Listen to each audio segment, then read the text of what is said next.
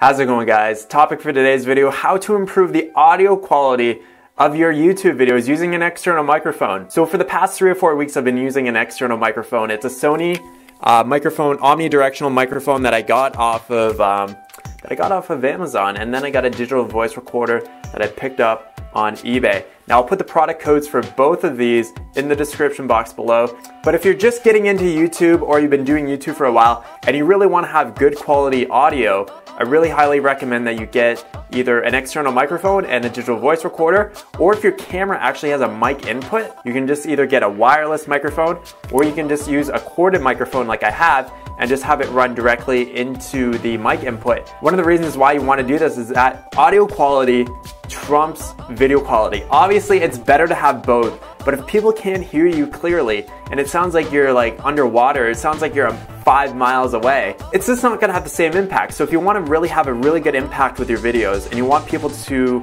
watch your videos and have that really high retention rate, having superb audio quality is one of the best things that you can do. So it's something I highly, highly recommend. I think the uh, microphone cost me about $35 and the digital voice recorder cost me about $60. It is a bit of an investment, and if you're not making any money on YouTube, it can kind of seem kind of pointless. But if it's something that you actually want to take seriously, I highly, highly recommend that you get an external microphone. Right now, this is what it sounds like if I'm just using the mic input uh, from the camera that I'm using. So I used a Panasonic Lumix DMC FT2 uh, to record my videos.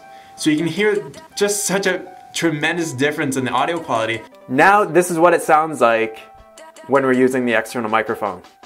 So it's totally different, much more just rich and deep. And if you're gonna watch a video, wouldn't you wanna watch a video that had absolutely amazing sound? Awesome guys, thanks so much for watching. Leave your questions and comments in the box below. Talk to you soon, peace out.